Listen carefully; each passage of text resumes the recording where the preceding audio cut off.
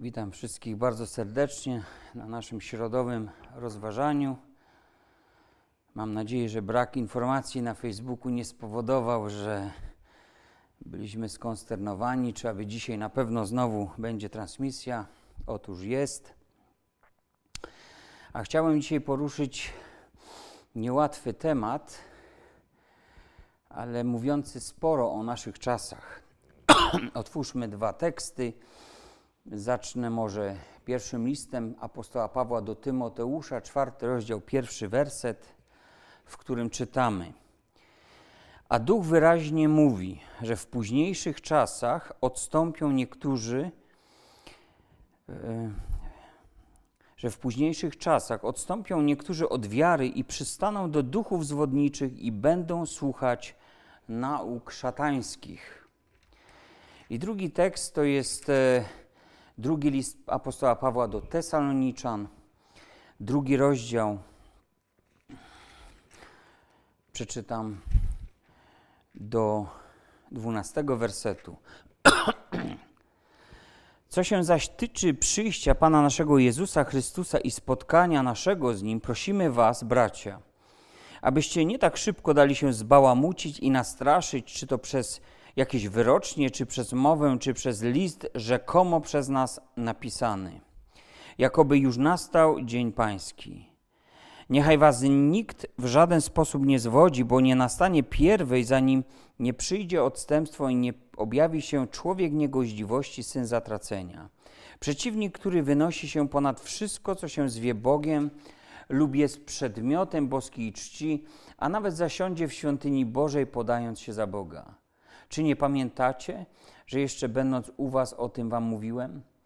A wiecie, co go teraz powstrzymuje, tak iż się objawi dopiero we właściwym czasie. Albowiem tajemna moc nieprawości już działa, tajemna, dopóki, dopóty, dopóki ten, który teraz powstrzymuje, nie zejdzie z pola. A wtedy objawi się ów niegodziwiec, którego Pan Jezus zabije tchnieniem ust swoich i zniwecze blaskiem przyjścia swego a ów niegodziwiec przyjdzie za sprawą szatana z wielką mocą wśród znaków i rzekomych cudów i wśród wszelkich podstępnych oszustw wobec tych, którzy mają zginąć, ponieważ nie przyjęli miłości prawdy, która mogła ich zbawić. I dlatego zsyła Bóg na nich ostry obłęd, tak iż wierzą kłamstwu, aby zostali osądzeni wszyscy, którzy nie uwierzyli prawdzie, lecz znaleźli upodobanie w nieprawości.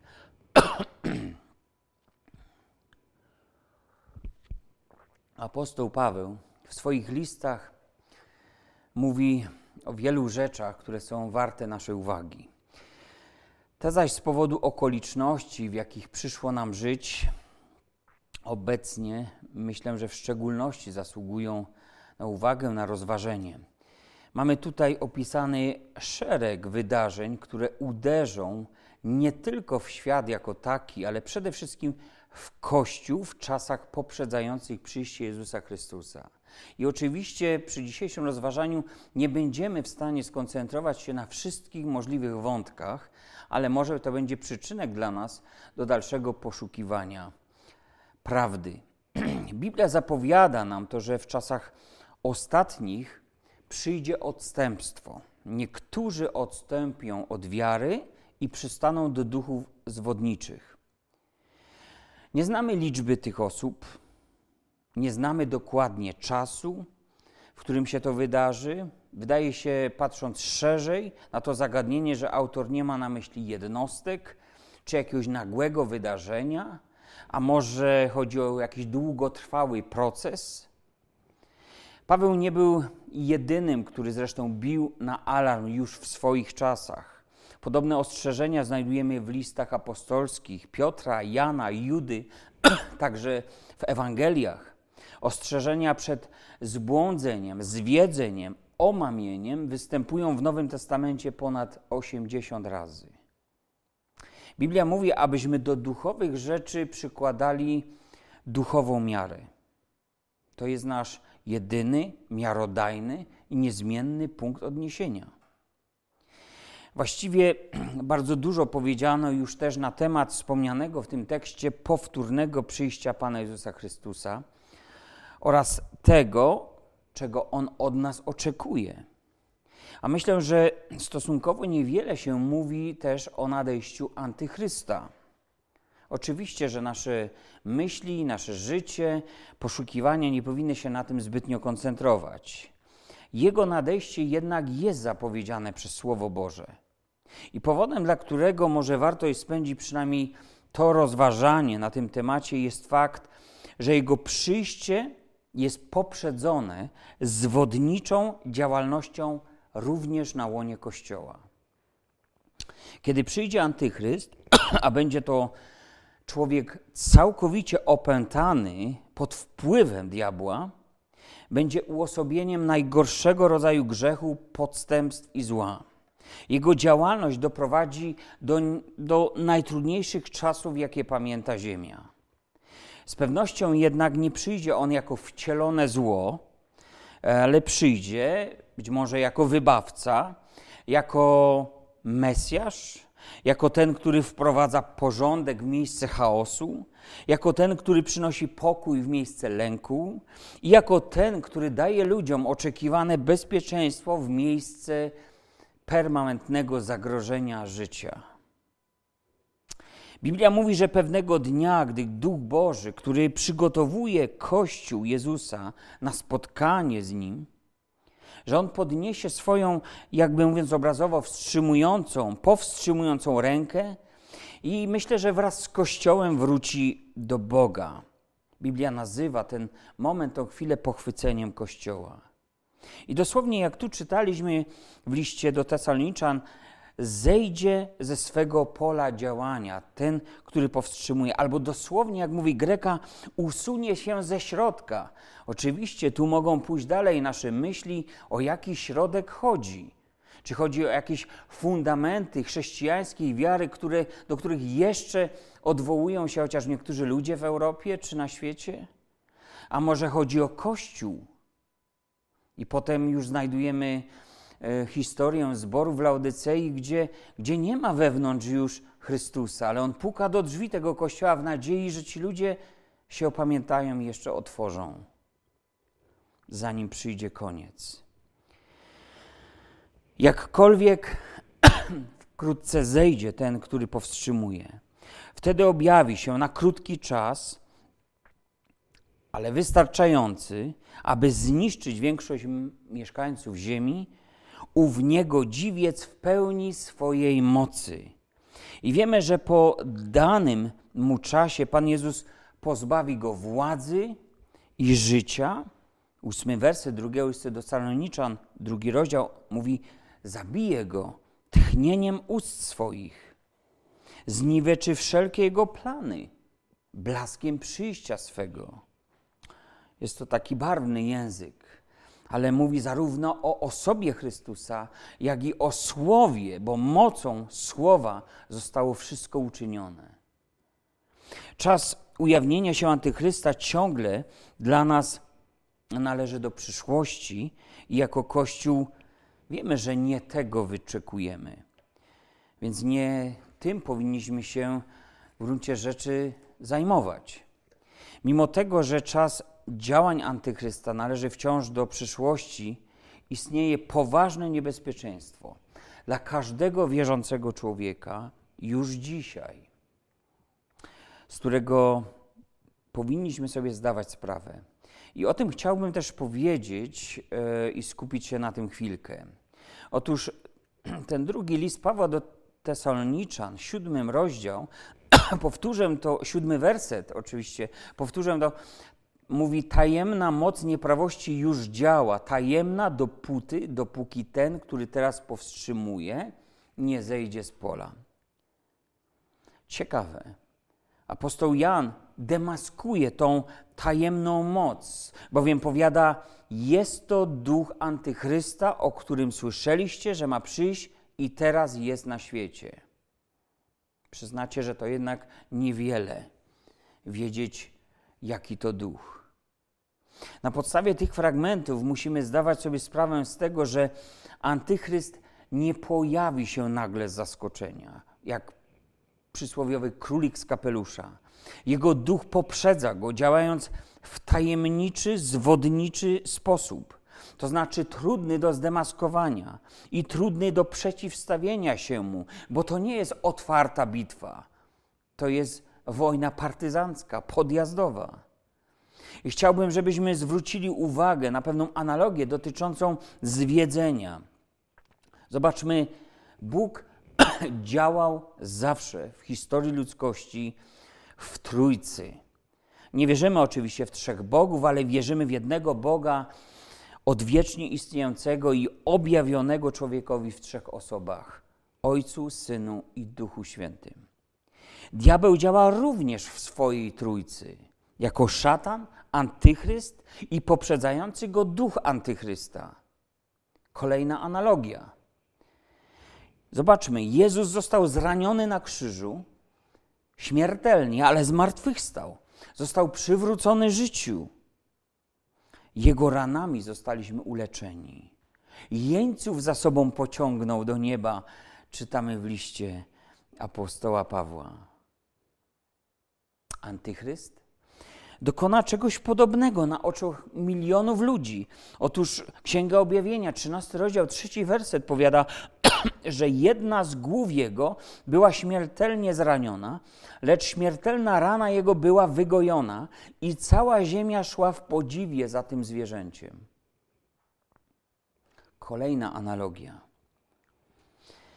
Duch Boży przygotowuje Kościół na spotkanie z oblubieńcem na spotkanie z Jezusem.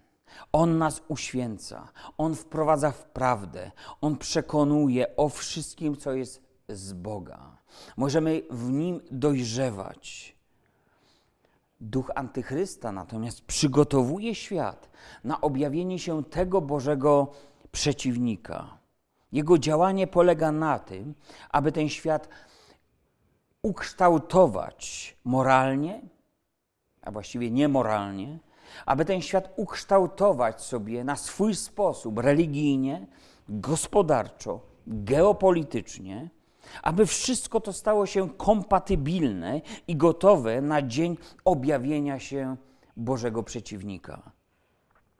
I kiedy antychryst się pojawi, nikt nie będzie specjalnie przerażony jego obecnością, gdyż umysły i serca ludzi zostaną wcześniej już przygotowane. Świat będzie tak zmęczony i tak oczekujący na zmiany, że gdy on przyjdzie, przynosząc swoje rozwiązanie, cała ziemia, jak czytaliśmy, pójdzie za nim w podziwie. I zobaczmy, jak podstępne jest to działanie diabła. On kopiuje Boże działanie, aby zwieść narody. Przychodzi i jawi się jako taki anioł światłości. Nie objawia siebie jako uosobienie czystego zła, ale przychodzi jako ucieleśnienie dobra, jako ktoś, kto rzekomo chce dobrze dla człowieka, jako jego wybawiciel. Jest to mistrz fake newsów, propagandy, podejrzliwości i siania zwątpienia.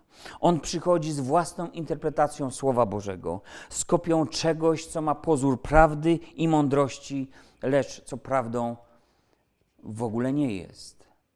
Jakim trudnym, zobaczmy, jest odróżnienie jakiegokolwiek falsyfikatu od prawdziwego eksponatu. I przekonał się o tym pewnego razu kupujący pewien obraz, że e, miłośnik malarstwa. Co się wydarzyło? Ten obraz posiadał wszelkie ekspertyzy, wszelkie certyfikaty, a mimo tego po transakcji okazało się, że to, co kosztowało kilkadziesiąt tysięcy dolarów, jest warte za, zaledwie 200. Tak doskonałą kopię udało się nabyć. Sytuacja miała miejsce kilka lat temu. A więc kopia jednak nie była oryginałem, była falsyfikatem. Antychryst w dniu swego przyjścia będzie najprawdopodobniej najbardziej pożądaną na świecie osobą. Zostanie być może owacyjnie przyjęty przez świat i z honorami przywitany również przez Żydów, którzy przecież nadal oczekują Zbawiciela, nie przyjęli bowiem Jezusa Chrystusa. Nadal oczekują kogoś, kto umożliwi im odbudowanie tego państwa z czasów króla Dawida, króla Salomona. To będzie w ogóle dla całej ludzkości szczególny dzień. Cały świat będzie wyznawał, że kogoś tak wyjątkowego, z takim zmysłem politycznym, z takim intelektem jeszcze nie było. Biblia mówi, że sukces jego będzie polegał jednak na podstępnych oszustwach, na rzekomych cudach. Jego działalności będą towarzyszyły właśnie wydarzenia porównywalne do znaków towarzyszących, być może nawet możemy dokonać takiego porównania, towarzyszących Izraelowi w czasie wyjścia z Egiptu. Czy też patrząc przez pryzmat chrześcijaństwa, będzie to porównywalne z cudami i znakami, jakie towarzyszyły służbie Jezusa i jego apostołów. Pismo mówi, że Żydzi wówczas wejdą z nim w ścisłe przymierze. On zaś wkrótce potem obwoła się ich Mesjaszem i zasiądzie w świętym miejscu w świątyni, która dotąd wiemy, że nie została jeszcze wybudowana, choć w czasach napisania listu do Tesaloniczan być może właśnie ona jeszcze istniała. Na to wszystko wskazuje, patrząc na datowania listów. Różne prominentne postacie i wpływowe postacie Izraela zapowiadają, że już wkrótce odbudujemy świątynię. To wydarzenie jednak rozpocznie taką lawinę innych zdarzeń, które zakończą się tym wielkim dniem Pana, tym wielkim gniewem Bożym zapowiadanym przez Biblię. Przyjdzie też na świat z powodu działalności Antychrysta Holokaust dla mieszkańców Ziemi, w szczególności dla Izraela. Biblia mówi, że gdyby nie zostały skrócone owe dni, to żaden z mieszkańców Ziemi nie ocalałby. To jest mowa oczywiście o wielkim ucisku. Wcześniej jednak, zanim to wszystko przyjdzie, duch Antychrysta będzie powolutku, powolutku rzeźbił i przemieniał serca ludzi w taki sposób, że odwrócą się oni od prawdy, a więc pojęcie prawdy się w ogóle zatraci. Czy my w ogóle dzisiaj rozumiemy, co jest prawdą? Kiedy nawet w takim potocznym znaczeniu włączasz telewizor e, czy przeszukujesz internet i zastanawiasz się nad tym, co się dzieje, i żeby mieć jakąś wykładnię tego, czy jesteś w stanie w ogóle dojść do tego, co jest prawdą? Pojęcie prawdy się zatraci. Nic, co usłyszysz, nie będzie brzmiało już w Twych uszach jako prawdziwe. Wszystko będzie niepewne, relatywne, niesprawdzalne a czy na pewno Bóg powiedział? A czy na pewno to się tak stanie? Wszystko będzie wymagało jakiegoś potwierdzenia, a źródeł dotarcia i możliwości zweryfikowania różnych newsów, prawd będą niewielkie, znikome. Będzie wielka trudność, by dojść do tego, co jest prawdą, a co jest w rzeczy samej kłamstwem. Przeto prawda z dużej litery w tym tyglu całkowicie się zagubi. Pojęcie absolutnej prawdy będzie zanikało. Ludzie będą rzeczywiście skołowani, i nie jest to dalekie od tego, jak dzisiaj wielu się czuje. Będą skołowani i oczekujący jakiegoś nowego kierunku, wyraźnego kierunku, jakiejś wreszcie odsłony, jakiegoś nowego etapu, który uporządkuje ten chaos. Mamy dzisiaj oczekiwania wobec tych, którzy dzierżą władzę, ale nie wydaje się, że coś idzie w jakimś kierunku, że, że mamy tak wiele pytań, a tak niewiele odpowiedzi. Kim są ci, których ten niegodziwiec, mowa o antychryście, tak go nazywa apostoł Paweł, kim oni są, których on zwiedzie? Są to wszyscy ludzie, którzy nie przyjęli miłości prawdy, która mogła ich zbawić. W pierwszej kolejności łupem antychrysta padną więc wszyscy ci, którzy nie przyjęli Chrystusa, bo wiemy, że to On jest prawdą. Ci, dla których Jezus i Jego Ewangelia nie stały się miłością ich, ich życia.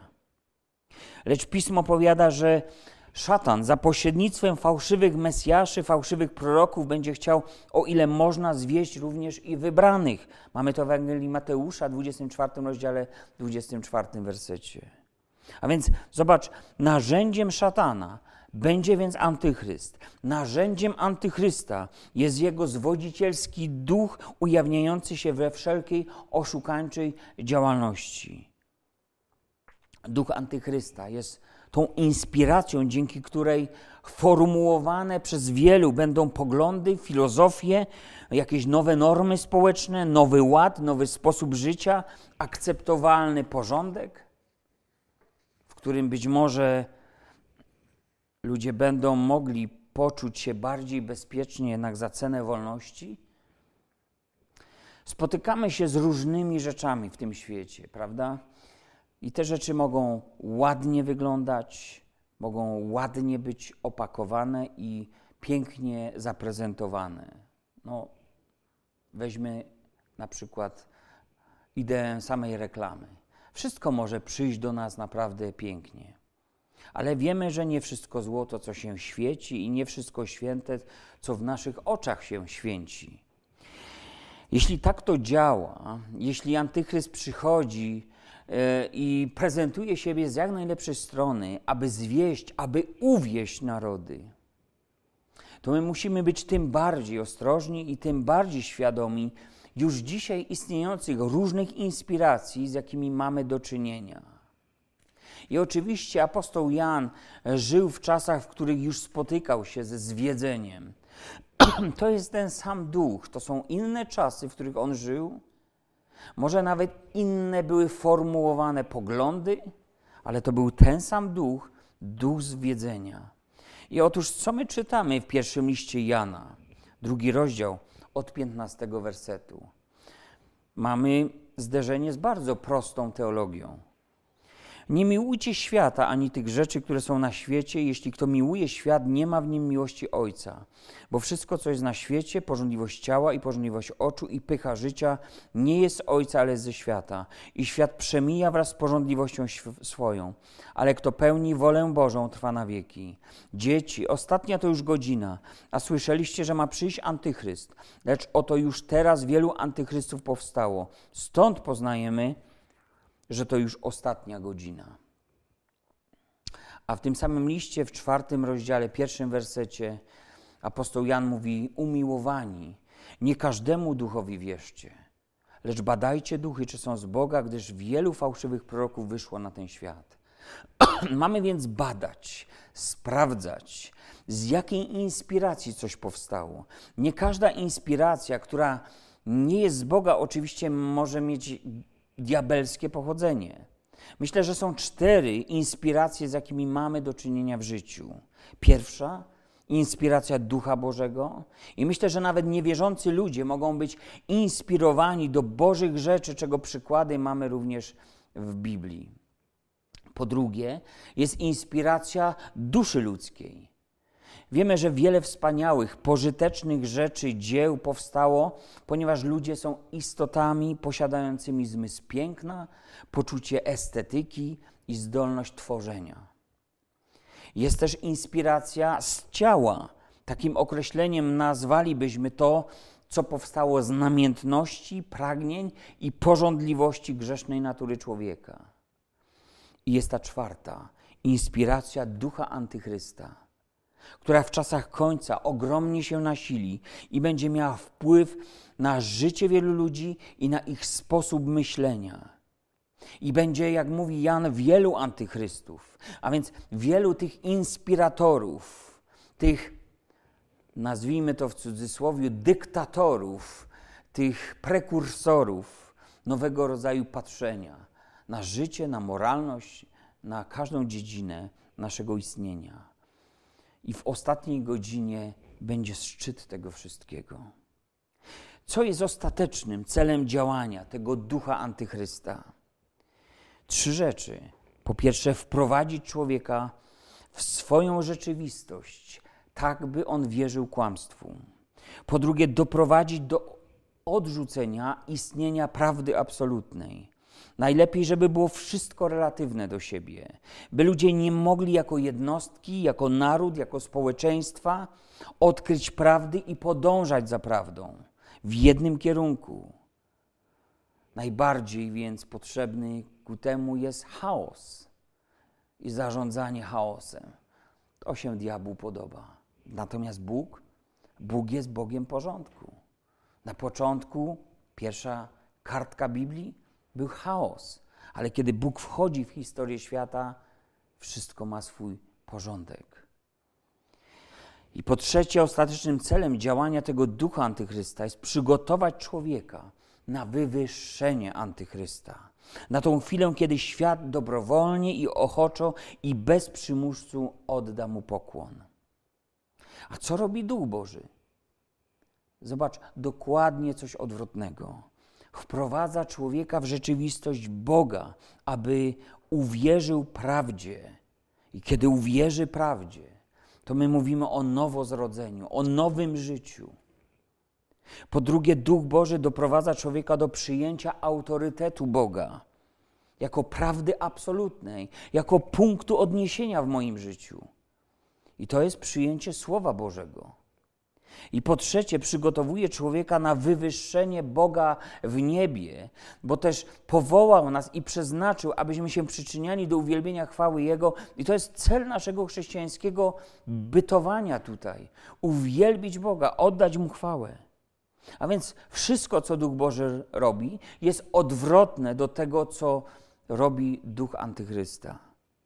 I każdy, kto chce wiernie kroczyć za Panem, musi zdać sobie sprawę z tego, że cała jego wiara jest związana z tą duchową walką, z tymi dwoma przeciwnościami. To znaczy, stojąc po stronie Boga, cały czas zderzamy się z tym przeciwnym działaniem, e, mającym za cel zniszczenie wszystko, co ma imię Boże. Chyba nie spodziewaliśmy się takich wydarzeń jeszcze kiedy świętowaliśmy ostatnie Boże Narodzenie, czy kiedy życzyliśmy sobie na nowy rok różnych to rzeczy. Wszystko przyspieszyło. Być może jest to preludium do wydarzeń opisanych w ostatniej księdze Biblii. Nie wiemy. Zbyt wiele pytań, niewiele odpowiedzi. Ale Biblia wystarczy. Apostoł Paweł mówi nam, że jeśli chodzi o walkę, to nie z krwią i ciałem walczymy, lecz z nadziemskimi władzami, ze zwierzchnościami, z władcami tego świata ciemności, ze złymi duchami w okręgach niebieskich. Efezjan, list 6, rozdział 12, werset. Apostoł Juda mówi i wzywa w swym liście wierzących do podjęcia walki o wiarę, raz na zawsze przekazaną świętym ale konieczna jest walka, bo to jest duchowa walka. Musimy być świadomi więc pewnych zmagań rozgrywających się, myślę, na trzech płaszczyznach, o których chcę powiedzieć, już bardziej zbliżając się ku końcowi. Wymagany tutaj jest nasz upór, nasz opór, nasza czujność, nasza trzeźwość i przywiązanie do prawdy.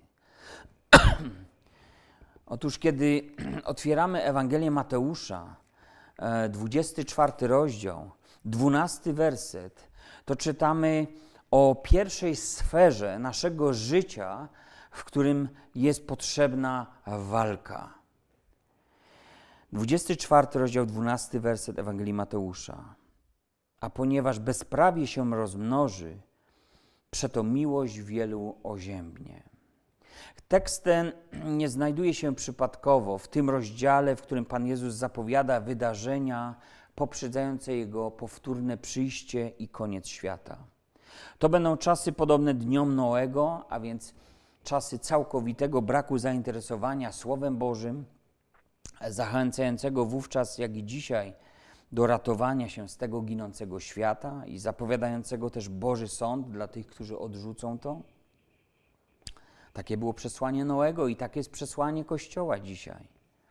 Tą rolę pełni Ewangelia. Ale również Jezus powiedział, że te czasy ostatnie podobne będą dniom Lota, gdzie wiemy, że doszło do całkowitego upadku dobrych obyczajów i norm moralnych. To były czasy degeneracji, ale też czasy dobrobytu, czasy, w których wszystko biegło jakby starymi torami. Ludzie handlowali, kupowali, sprzedawali, żenili się, za mąż wychodzili. Wszystko jakby po staremu. Apostoł Paweł zaś, jak czytamy w naszym tym tekście bazowym, od którego rozpocząłem, powiedział, że antychryst zwiedzie tych, którzy odrzucili miłość prawdy, odrzucili zamiłowanie do prawdy, a znaleźli upodobanie w nieprawości. Jezus mówi o osłabieniu miłości, o oziębnięciu tej miłości, natomiast apostoł mówi o odrzuceniu miłości prawdy. I chciałbym, abyśmy postawili sobie takie pytanie. Czy tracę, każdy niech sobie zadaje, czy tracę zamiłowanie do Słowa Bożego? Czy tracę chęć, pragnienie do służby? Czy tracę zamiłowanie do modlitwy, do społeczności z Bogiem, do społeczności z Kościołem?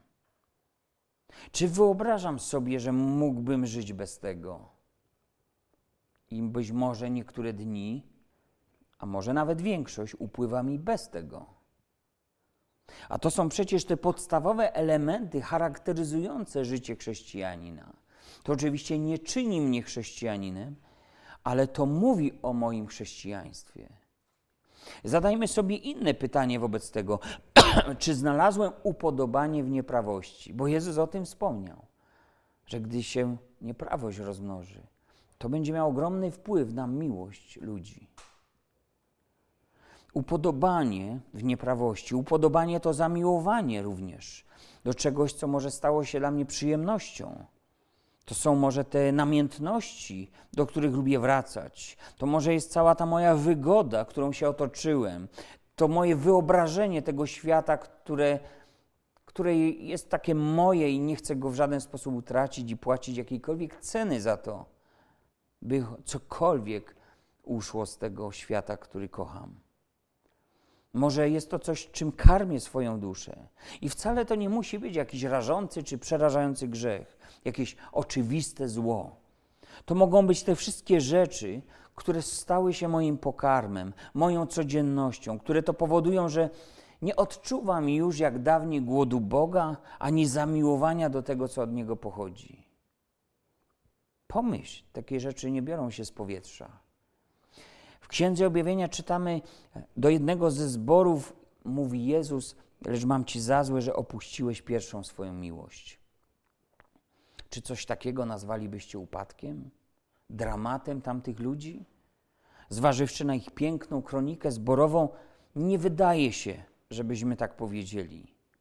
A jednak Jezus wezwał tych ludzi do upamiętania i zapowiedział, że jeżeli zlekceważą to Jego wezwanie, to On przyjdzie i poruszy całym tym zborem. Może i my doczekaliśmy się w obecnych czasach takiego poruszenia nie tylko jednego zboru, ale całego Kościoła. Bo może Kościół w swoim zadufaniu powtarzał sobie, że wszystko ma i niczego nie potrzebuje. Kto wie, jak to wygląda z perspektywy nieba. W tym wszystkim, do czego przywykli, bo można przywyknąć przecież też do chrześcijańskiego stylu życia, tym wszystkim nie było już takiego serca pełnego oddania się Bogu, oddania jeden drugiemu w kościele. Ich serca, ich serce musiało być zakotwiczone, być może w wielu innych sprawach, które odciągały, które karmiły. Także wygasał ten głód miłowania. Jezus mówi, gdzie skarb Twój, tam będzie serce Twoje. I myślę sobie, że to jest początek każdego upadku, kiedy akcent życia zostaje przeniesiony w sposób może niezauważalny zupełnie na coś innego, co powoduje jakiś kierunek w naszym życiu, rozpoczyna jakąś drogę w naszym życiu. I gdy stracisz, stracę zamiłowanie do społeczności z Bogiem, społeczności z Kościołem, zamiłowanie do Biblii, do Słowa, do modlitwy, zamiłowanie może też do życia godnego swojego powołania w Chrystusie, a znajdę inny obiekt upodobania, to rozpoczyna się coś, czego dotąd może nie dopuszczałem do swojego życia. A to ma swoje imię. To nazywa się kompromis. Apostoł Paweł powiada: Nie możecie pić z kielicha pańskiego i z kielicha demonów. Nie możecie być uczestnikami stołu pańskiego i stołu demonów. To jest 1 Koryntian, 10 rozdział, 21 werset. A więc spójrzcie, mamy tutaj kolejną analogię. Znowu widzimy, że ma miejsce kopiowanie czegoś prawdziwego w celu odciągnięcia ludzi od rzeczywistej prawdy, do, od absolutnej prawdy. Pan ma dla nas kielich błogosławieństwa i obficie zastawiony stół, pokarm duchowy. Ale widzimy, że demony, a więc cały ten świat duchowy, nie mający nic wspólnego z Bogiem, on też zachęca ludzi, aby karmili się z innego stołu. I też jest obfitość wyboru. I wcale nie musisz z niczego rezygnować. Trochę tu, trochę tam. Panu Bogu świeczka, a diabłu ogarek. Ta prawda znajdzie, drodzy, swoją kulminację właśnie w czasach działania Antychrysta. Wtedy ludzie nie będą już pić z dwóch kielichów jednocześnie, ale zdecydują się na jeden kielich demonów. Oczywiście nikt tego w ten sposób nie będzie nazywał. Nie będzie już nikomu zależało na czymś innym a nie będzie, bo ludzie nauczą się wybierać to, co będą uważali za lepsze dla siebie tu i teraz. I mamy o tym wyraźnie napisane w Księdze Objawienia, w 17 rozdziale. Przeczytam dwa wersety, czwarty i piąty i z 18 rozdziału fragment. A kobieta przyodziana w purpurę i szkarłat i przyozdobiona złotem i drogimi kamieniami i perłami – a miała w ręce złoty kielich pełen obrzydliwości i nieczystości jej nierządu, a na czole jej, wy, był, jej wypisane było imię o tajemniczym znaczeniu Wielki Babilon, matka wszetecznic i obrzydliwość ziemi. I osiemnasty rozdział od drugiego wersetu. I zawołał donośnym głosem anioł, oczywiście, Upadł, upadł wielki Babilon i stał się siedliskiem demonów i schroniskiem wszelkiego ducha nieczystego i schronieniem wszelkiego ptactwa nieczystego i wstrętnego. Gdyż wszystkie narody piły wino szaleńczej rozpusty jego i królowie ziemi uprawiali z nim wszeteczeństwo, a kupcy ziemi wzbogacili się na wielkim jego przepychu. I usłyszałem inny głos z nieba mówiący: Wyjdźcie z niego, ludu mój, abyście nie byli uczestnikami jego grzechów i aby was nie dotknęły plagi na niego spadające. Gdyż aż do nieba dosięgły grzechy jego i wspomniał Bóg na jego nieprawości. Zobaczcie, z takiego kielicha to my chyba nigdy byśmy nie pozwolili sobie, żeby pić ani kropelki tak może myślimy, że nie wypilibyśmy, ale musimy pamiętać, że tajemna moc nieprawości już działa. Świat dojrzewa do tych apokaliptycznych wydarzeń. Może to jeszcze nie ten moment, może wszystko wróci do normalności, ale może to wszystko, co się stało teraz, powoduje, że nasz świat przeobraził się i stał się bardziej kompatybilny i zgodny z tymi wydarzeniami, które zapowiada Księga Objawienia. Tajemna moc działa, a więc to jest jeszcze zakryte, to jest dla nas jeszcze niezrozumiałe. Może chcemy wielu tych sensacyjnych wiadomości, przeglądamy internet, ale może to jeszcze nie ten moment. Ta moc jest stłumiona, ta moc jest powstrzymywana, ona jest skrępowana. Dlaczego? Z powodu tych, którzy mają jeszcze może przyjść do poznania prawdy, mają zostać zbawieni. Bo jeszcze jest czas łaski, jeszcze jest czas zbawienia, jeszcze jest czas, w którym możesz oddać życie Jezusowi Chrystusowi. W ostatnich latach nie słyszałem o tylu przychodzących do ludzi, ludzi do Pana, jak właśnie w ostatnich dwóch miesiącach. To naprawdę jest wyjątkowy czas ta moc. Więc jeszcze nie może wyjść z ukrycia, nie może się ujawnić, gdyż myślę, że Duch Święty ogranicza jej wpływ i zatrzymuje. To jest nadal czas łaski, czas działania Ewangelii, czas, w którym możemy dzielić się słowem z ludźmi. I może to w naszym pokoleniu już się skończy. Za dużo rzeczy składa się w jakąś całość, spójność, by myśl o przyjściu Chrystusa odkładać na przyszłe pokolenia. Kto czyta uważnie Biblię, powiem kolokwialnie, ten czuje pismo nosem. I kielich tutaj wspomniany oczywiście jest ciągle pewnym symbolem. Kielich symbolizuje jedność, przynależność, tożsamość, społeczność. Kto łączy się z Panem, jest z Nim jednym duchem. Kto łączy się z tą wielką wszetecznicą, jest z nią jednym duchem. Tu nie ma kompromisu. Dlatego to jest tak ważne, żeby w naszym życiu nie było ich, jakiejś letniości, jakiejś, jakiejś, jakiegoś osłabienia pierwszej miłości, która przecież zawsze stawiała Pana i Jego Słowo w naszym życiu na pierwszym miejscu. Jak troszczyć się o miłość? Jeśli we mnie trwać będziecie i słowa moje w was trwać będą, mówi Jezus. W piętnastym rozdziale Ewangelii Jana o tym czytamy. Jezus mówi tam, jeśli przykazań moich przestrzegać będziecie, a więc kiedy będziecie pełnili to słowo, które ja do was mówię, to Jezus powiada, trwać będziecie w miłości mojej, jak i ja przestrzegałem przykazań Ojca mego i trwam w miłości Jego. A więc troszcz się o swoją społeczność z Jezusem. Troszcz się o Słowo Boże, aby było obecne w Twoim życiu. Nie okazjonalnie, ale regularnie. Módl się, aby Duch Święty objawiał Ci to Słowo. Aby Duch Święty też dostarczał Ci wszystkiego, co jest od Boga. Proś Boga, a będzie Ci dane. I On będzie wylewał tą miłość w obfitości w sercach naszych, tak jak to zapowiedział apostoł Paweł w liście do Rzymian. I druga rzecz, o której chcę również wspomnieć, a ona jest zapisana w liście do Efezjan, drugi rozdział, o tym mówi pierwsze dwa wersety. Otóż czytamy takie słowa. I wy umarliście przez upadki i grzechy wasze, w których niegdyś chodziliście według modły tego świata, naśladując władcę, który rządzi w powietrzu, ducha, który teraz działa w synach opornych. Zobacz, rządzi w powietrzu, działa w synach opornych. Biblia mówi tutaj o wpływie władcy tego świata. Duch antychrysta będzie przejawiał się w życiu tak zwanych synów opornych, opierających się.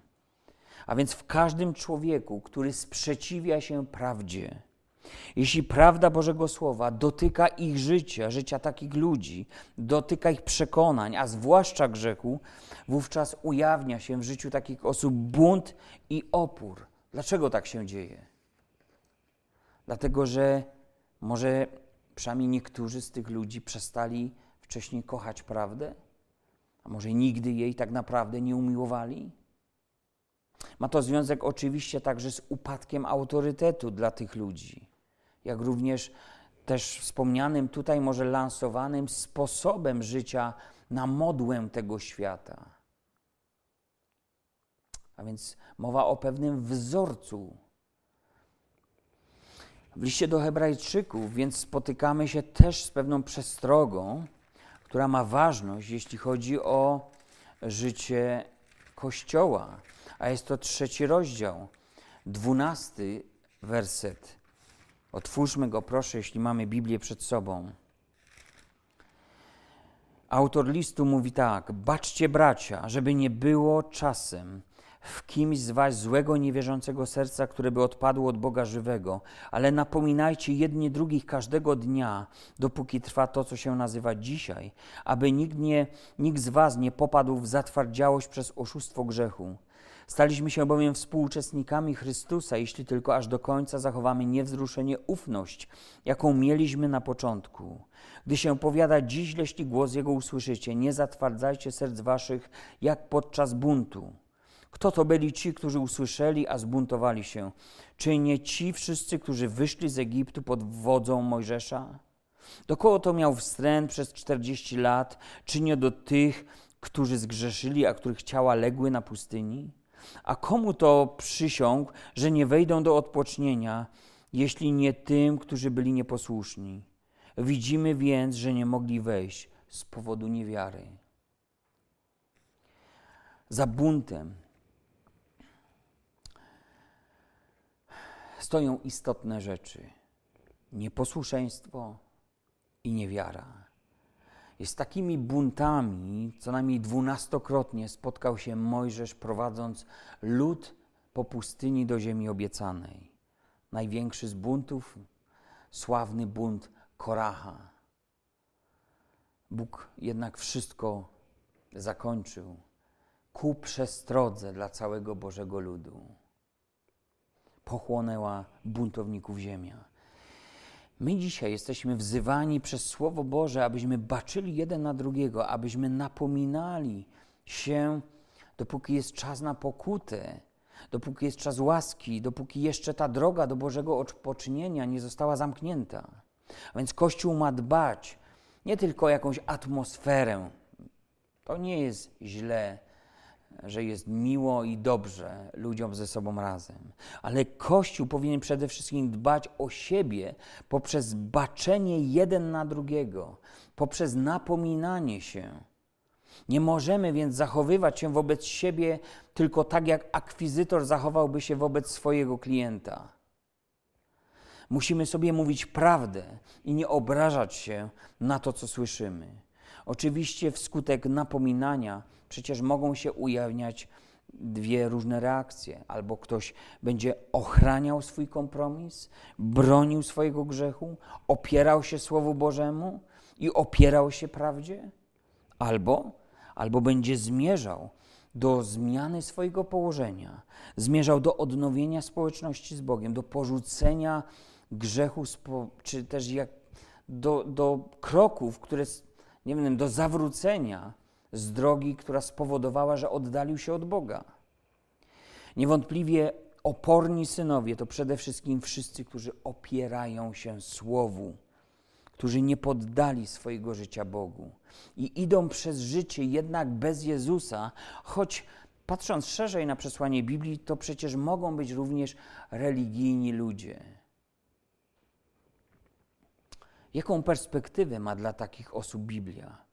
jeśli zastanie ich ten czas działania antychrysta. Czytaliśmy o tym. Zginą. Tak mówi Biblia, to nie mój wyrok. Zginą na własne życzenie, ponieważ nie przyjęli miłości prawdy, która mogła ich zbawić.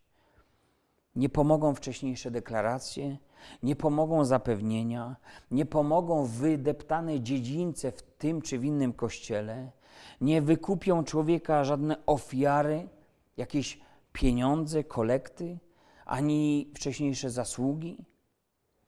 Prawda jest prosta: albo żyjesz dla Pana, albo umierasz bez Pana.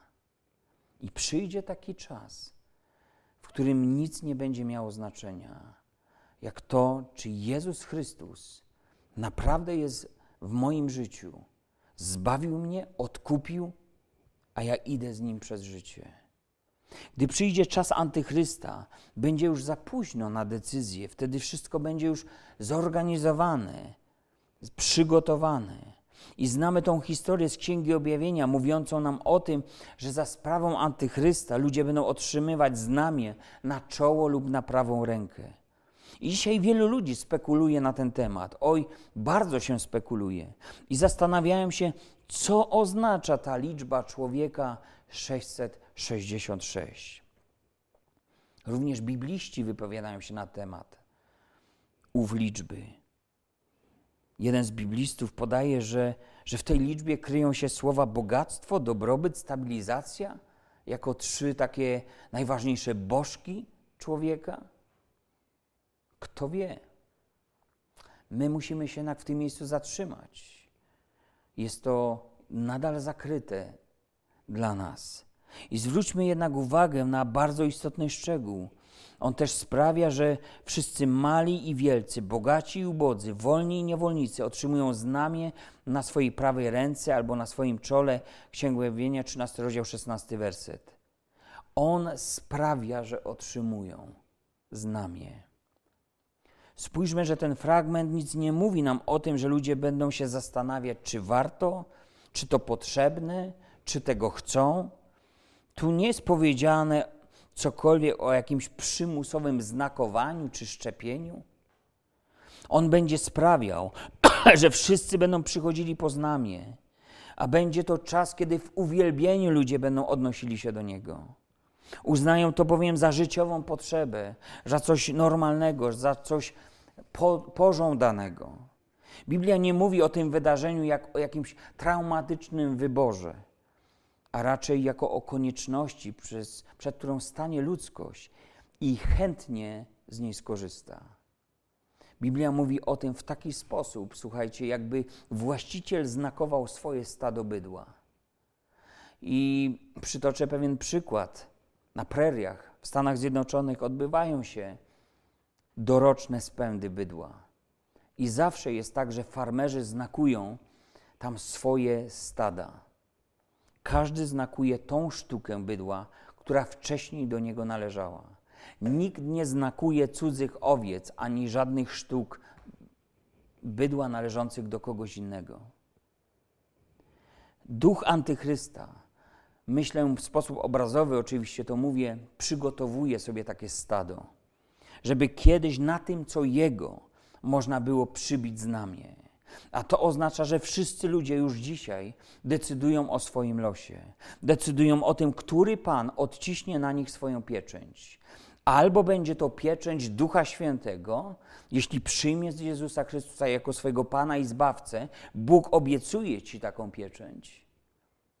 Albo będzie to znamie Antychrysta. Wtedy to się zdarzy, kiedy odrzucisz prawdę.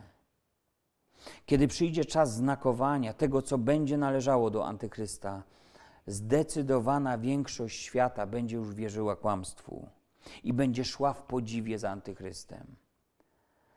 A więc dramat człowieka tak naprawdę rozgrywa się już dzisiaj, na naszych oczach, naszych domach, może rodzinach, w pracy, na ulicy. Nie doświadczamy, nie widzimy, a jednak to się dzieje już teraz. Mamy więc za zadanie głosić Ewangelię, modlić się o zgubionych i niezbawionych, głosić ją wszelkiemu stworzeniu. Dzisiaj Bóg wzywa każdego: przyjdź do Jezusa, nie zatwardzaj serca jak podczas buntu. Wybór jednak należy do nas. I ostatnia rzecz, króciutko, drugi Piotra, drugi list Piotra, drugi rozdział pierwsze dwa wersety chciałbym przytoczyć. To trzecia płaszczyzna takiej walki duchowej. A więc mówiliśmy o posłuszeństwie Bożego Słowa, a wcześniej o miłości. Jak ważne jest posłuszeństwo i miłość. A teraz coś o fałszywej nauce. Lecz byli też fałszywi prorocy między ludem, jak i wśród was będą fałszywi nauczyciele, którzy wprowadzać będą zgubne nauki i zapierać się Pana, który ich odkupił, sprowadzając na siebie, na się rychłą zgubę. I wielu pójdzie za ich rozwiązłością, a droga prawdy będzie przez nich pohańbiona. Z chciwości wykorzystywać was będą przez zmyślone opowieści i tak dalej. Apostoł Piotr również przestrzega mówi o zwiedzeniu. Wielu pójdzie za ich nauką, za ich sposobem życia. Raczej chodzi o rozwiązłość niż takie bardzo konserwatywne spojrzenie na życie. Okazuje się, że nie tylko apostołowie bili na alarm.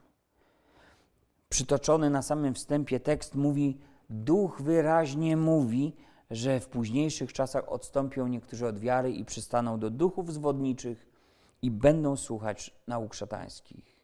Duch również o tym świadczy. Co by nie powiedzieć o czasach późniejszych, nasze czasy są na pewno późniejsze. Zobaczcie, ludzie nie tylko będą tracili miłość, nie tylko będą tracili wiarę, nie tylko będą stawać się nieposłuszni Słowu Bożemu, ale będą przyłączać się, jednoczyć się z duchami zwodniczymi. Nie będą zastanawiali się nad inspiracjami, z których coś wynika w ich życiu. Będą przyjmować nauczanie szatańskie. Ono przecież nie gloryfikowało diabła. No bądźmy poważni. Diabeł miał, jedną śpiewkę dla każdego człowieka. Będziecie takimi jak Bóg. Możecie żyć jak Bóg. Bez Boga. A więc ludzie mogą poddać się tej inspiracji, za którą stoją różne duchowe wpływy. Chociaż te słowa wypełniały się już za czasów apostołów, punkt kulminacyjny osiągnie to tuż przed objawieniem się Antychrysta. Zanim objawi się ów niegodziwiec, przyjdzie odstępstwo, powiedział Paweł do Tesaloniczan. I sprawa wielkiego odstępstwa, które dotknie Kościoła, w Biblii jest faktem. Bóg chce, żebyśmy słyszeli wyraźnie głos Bożego Ducha. On chce, żebyśmy potrafili odróżnić te fałszywe wpływy, fałszywe inspiracje, fałszywe Ewangelie od tego, co jest prawdziwe. Zamieszanie religijne jest znakiem czasów końca, zbliżającego się końca. Im bliżej końca, tym więcej będzie tego zamieszania, więcej błędnych nauk i ludzi również ich przynoszących. Gdyby wam wtedy kto powiedział, powiada Jezus, oto tu jest Chrystus, oto tam nie wierzcie, powstaną bowiem fałszywi Mesjasze i fałszywi prorocy i czynić będą znaki i cuda, aby o ile można zwieść wybranych. Wy tedy baczcie, przepowiedziałem wam wszystko. Ewangelia Marka, 13 rozdział, 21 werset do 23. To, co jest najważniejsze, drodzy, to musimy znać prawdę. Musimy mieć zamiłowanie do tej prawdy, a więc musimy chcieć ją po prostu pełnić, a nie tylko o niej wiedzieć. Mamy być bardzo ostrożni wobec wszystkiego, co wygląda urzekająco, co ma znamiona rzeczy nadprzyrodzonych i cechy mądrości. Nie wszystko, co jest mądre i inteligentne, jest prawdziwe. Wszystko, czego potrzebujemy, zostało przekazane przez Jezusa. On to sam powiedział. Już nic więcej nie potrzebujemy. Wszystko, co potrzeba nam, jest w Biblii, aby rozróżniać prawdę od kłamstwa. Nie musisz znać dziesiątek i setek tysięcy poglądów na życie z Bogiem. Nie musisz przewertować jakiejś niebywałej ilości fake newsów, by odnaleźć jakąś ciekawą prawdę. Nie musisz znać wszystkich odpowiedzi na to, co dzieje się teraz. Ważne, żebyś trzymał się, trzymała Bożego Słowa. Prosty przykład. Kasjerka bankowa nie musi studiować tysięcy sposobów na to, jak sfałszować banknot. Wystarczy, że zna cechy tego jednego, który jest prawdziwy, i ona tego się trzyma. I zapewniam Was, że nie zbłądzi. Po co te wszystkie fake newsy, te wszystkie rzekome prawdy? Wiesz, co się dzieje? One zjadają Twój czas, pochłaniają Twoją uwagę Chcą, żebyś żył tymi rzeczami. A co z tego masz? No pomyśl, więcej życia z Bogiem? Więcej Ducha Świętego? Więcej Jego owoców? Więcej Jego darów? Ja ci powiem, co z tego masz. Nic z tego nie masz. Szukaj prawdy u Boga, a nie u ludzi. Szukaj w Biblii, a nie w internecie. I módl się o zrozumienie i objawienie prawdy. Oczywiście ja tutaj nie mówię, żebyś nie, nie przeglądał sobie, czego tam chcesz, ale zastanówmy się, w co lokujemy nasze serce, nasz umysł i nasz czas. Gdzież jest taki ojciec, który, gdy go prosisz o chleb, da ci kamień, powiedział Jezus. Na te kamienie trafiamy jednak i łamiemy sobie na nich zęby, szukając, gdzie nie trzeba i spędzając może czasem więcej niż godzinę a Jezus prosił u swoich uczniów, aby chociaż godzinę spędzili z Nim. Czy tak masz? No to więcej spędziłeś na internecie czy z Jezusem? Jak to wyglądało w tym tygodniu? Sami sobie dajmy odpowiedź. Ludzie wówczas, zamiast iść do przodu za Panem, wciąż przypominają takich błądzących pielgrzymów sprowadzanych na manowce. Nie takimi mamy być ludźmi w tym świecie. Pamiętajcie, solą i światłem. Proście, a będzie wam dane. Szukajcie, a znajdziecie. Kołaczcie, a otworzą wam. Kto otrzymuje? Kto znajduje, komu otworzą? Temu, kto czyni to do skutku. A zatem bądźmy ludźmi wytrwałymi, a nie zmiennymi. Wytrwałymi w życiu z Bogiem. Ostatni fragment, który chciałbym jeszcze przeczytać, który dobitnie nam mówi o tym, że my nie oczekujemy przyjścia antychrysta. To jest fakt, to się wydarzy, ale my oczekujemy naszego spotkania z Panem. Pierwszy Tesaloniczan, piąty rozdział, od pierwszego wersetu czytamy: A o czasach i porach, bracia, nie ma potrzeby do Was pisać. Sami bowiem dokładnie wiecie, iż dzień Pański przyjdzie jak złodziej w nocy. Gdy mówić będą pokój i bezpieczeństwo, wtedy przyjdzie na nich nagła zagłada, jak bóle na kobietę brzemienną i nie umkną. Wy zaś, bracia, nie jesteście w ciemności, aby was ten dzień jak złodziej zaskoczył. Wy wszyscy bowiem synami światłości jesteście i synami dnia. Nie należymy do nocy ani do ciemności. Przeto nie śpimy jak inni, lecz czuwajmy i bądźmy trzeźwi. Gdy świat będzie domagał się rozwiązań dających pokój, przynoszących bezpieczeństwo, i nie będzie żadnej ważniejszej rzeczy od tych, bo brak tego będzie dotykał wszystkich dziedzin życia ludzi. To my w tym czasie powinniśmy się troszczyć nadal o swoją społeczność z Panem. I to powinno być priorytetowym zajęciem dla nas, bo w Nim jest nasze bezpieczeństwo i On daje pokój nie jak świat daje. Nie dajmy się uwieść tej całej pandemii strachu i temu całemu zaangażowaniu nas w te wszystkie sprawy, które się dzieją w tym świecie. Jesteśmy w tym świecie, ale Jezus czyż nie powiedział, że już nie jesteśmy z tego świata? Czy mamy więc powody, by jako Kościół Jezusa Chrystusa drżeć i dociekać, czy to już, czy jeszcze nie teraz? Nie. My mamy powód, by się radować, by podnosić swoje głowy, gdyż w obliczu takich wydarzeń, jakie mają miejsce teraz, tylko bliższe jest nasze zbawienie niż kiedykolwiek wcześniej. I wiele wskazuje na to, że właśnie przyjście Pańskie jest bliskie. I nie bądźmy w tych dniach ani leniwi, ani usypiani, ale czuwajmy, bądźmy trzeźwymi i połóżmy całkowicie nadzieję swoją w Bogu. Jak powiedział apostoł Paweł, nie dajmy się w niczym zastraszyć.